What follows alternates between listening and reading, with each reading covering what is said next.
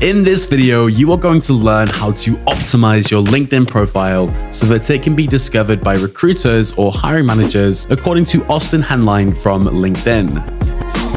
Austin Henline, and I connected for a Twitter space over on the Scrimba Twitter accounts where Austin explained when you have a resume, that only works for you when you apply, but a well optimized LinkedIn profile works for you whilst you sleep, as people can discover you any time of the day. When we spoke with Austin, he convinced us that there are three main reasons for new developers to be on LinkedIn. Number one is to be discovered by recruiters. Also, LinkedIn is a social network, right? Where you can connect with people, share posts, and so on, reach out in someone's DMs. And finally, it's a place where you can discover and apply to jobs. In this video, we're going to talk specifically about how you can be discovered by employers on LinkedIn.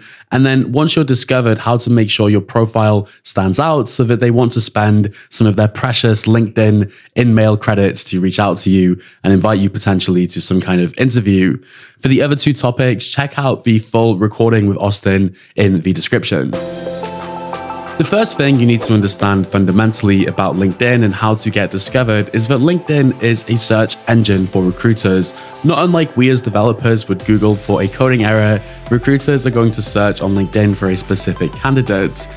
If you are not featuring keywords that the recruiters are searching for in your profile, it's practically impossible to be discovered. This leads to two natural questions, right? The first one is what keywords do you include? And the second is where do you include them on your profile? Well, Austin's advice in terms of finding out what keywords to rank for is to go onto the jobs pages and find a minimum of seven to 10 jobs that you would potentially be interested in applying to.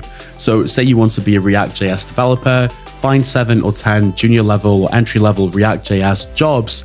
And what you could do actually is import them into a word cloud tool to visualize what are the most common keywords. But otherwise, you can just pass and use your best judgments. Those will represent the keywords that you should include in your profile. As for where to include them, this is something of an art and a science. Austin recommends and leads by example when he says that you should add to the bottom of your About section almost like a list of keywords that you would like to be discovered for. This is not the place to be humble either. You can list as many skills as you want. What I would say is that it won't serve you greatly to, you know, duplicate the same word a bunch. So again, say you want to be a React developer, you probably don't want to just write React 100 times in your About section. But when I asked Austin about this, he explained that there is a benefit in taking that same primary keyword in this case and massaging it into each individual section of your profile. So it could be in your headline, it could be in your About section, it could be under your work experiences section, your project section, your skills section, you get the idea. Remember, you only want to include keywords that reflect what you can actually do and your specific skills. So in this case, don't mention React if you don't know React, obviously. But if you are wondering as a new developer what the threshold is to say, hey, I know this skill on your LinkedIn profile, Austin encourages you to err on the side of the beginner side. And if you still need some assurance, what you could do is complete a LinkedIn skills assessment. This is available to every LinkedIn user. You just look for the skill and they will quiz you on it. So here's a CSS skill assessment, for example. If you can pass this skill assessment with any degree of success, you could include it on your profile and then during the interview process, if challenged, you can explain that this is something that you are currently in the process of learning. That's perfectly okay. What I would say, and you'll see this as a kind of theme going forward now, I think, is don't disqualify yourself, right? The purpose of a LinkedIn profile or a resume, frankly, is to get you that first screening call from there, you have an opportunity to further demonstrate your potential and your personality, and that can do wonders for you compared to a somewhat generic looking LinkedIn or resume uh, because as much as you might try, this is something that recruiters see every day. It's fairly impersonal. But if you can get on the phone call, you're a real person, and now you have a chance to show your enthusiasm and your determination. As a new developer, it might be tempting to start reaching for additional skills and especially soft skills. And this is why we see a lot of people describe themselves as detail orientated or as a problem solver, a good communicator. But actually, recruiters are not really searching for these specific words, and so they won't help you be discovered. And in fact, once a recruiter does land on your page, it can look a bit samey when really this is a precious opportunity for you to stand out and demonstrate either your hard skills or some project you've worked on or something like that. With that in mind, if there is a soft skill that you particularly want to express, you know, maybe make it as specific as possible. So instead of good communication skills, you can explain that you're a good presenter, first of all. And then secondly, try your best to link it to an actual accomplishment or a project at work. So you could say, I presented this project to this audience and it generated this results. Finally, it is not unreasonable to assume that LinkedIn might prioritize your profile in search results or at least make you more discoverable if you have good profile hygiene. That just means that you've filled in all of the sections to a high standard. The first thing which a lot of new developers get wrong actually is the headline section. Because if you're coming from a previous job or you've never worked professionally as a developer, you can feel a bit sheepish calling yourself a developer since you've never actually done that job. And so what a lot of people do is they will say, you know, aspiring developer, or worse, they will put their existing job title, which could be like, you know, customer service representative or something like that. But obviously recruiters aren't searching for aspiring developers. Again, don't disqualify yourself.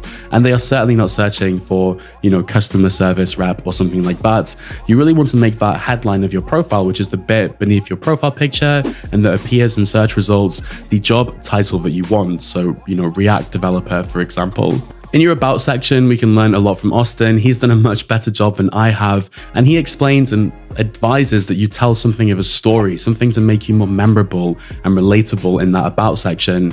And then building on the advice from previously, you can add a sort of skills list at the bottom of your About section, really just a comma separated list of keywords you would like to rank for. And there's no need to be humble here. You can cram in as many as you want, or at least as many as you would like to be discovered for. You want to fill in your experiences section, much like you would a resume. Some very good advice is to start each point in your resume with an action verb. Here is, and I will link in the description, a list from Harvard of action verbs you can pick from. This is also your chance to massage in the keywords you would like to rank for as well. Maybe instead of saying, you know, you built a or contributed to a project, you specifically will now say it's a React project, potentially increasing your chance of being discovered. Going down a little bit, you'll find the skills section, which again, you probably want to put keywords and skills that you would like to rank for. You can list up to 50 Austin Tortas, and again, there's no need to be humble here. You can just cram in as many as you want. You can take the skill assessments if you want to sort of vet yourself, but they won't make a huge difference apparently to your discoverability or really a recruiter or employer's impression from your profile. A good profile picture is what we call table stakes. Like it's the minimum thing you need to sort of sit at the table, and it should be a sort of professional professional, ideally, you know, friendly, inviting, approachable looking headshot. After all, you want someone to approach you for a job.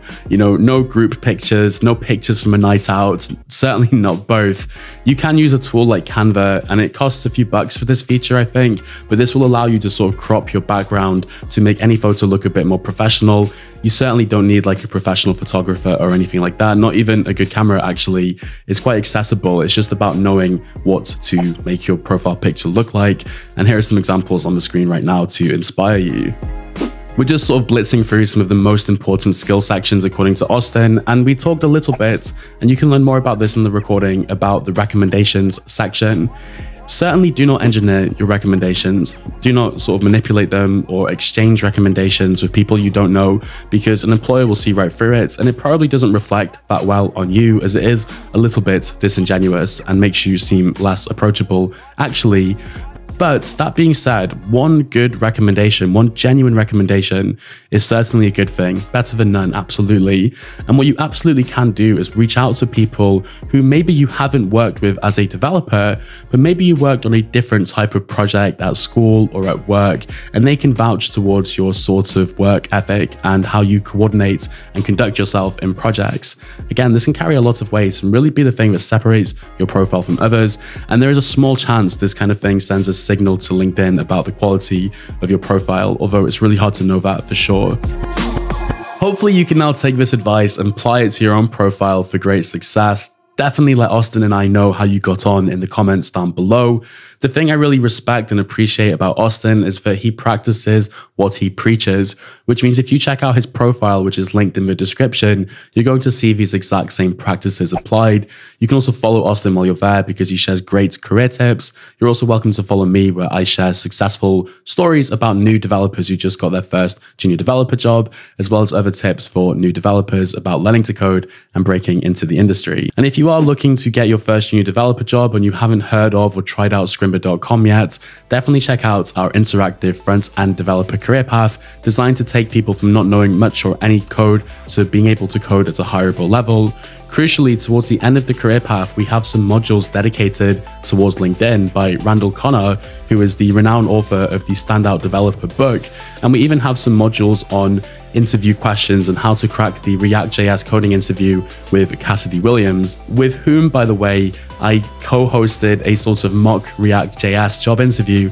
So if you're kind of wondering what comes after the LinkedIn profile, what comes after the interview, you can maybe check out that video linked on screen to see what it's all about. My name is Alex Booker. Thank you so much for watching. Just while you're leaving, please do remember to like the video and subscribe to the Scrimba channel, and we will see you next time.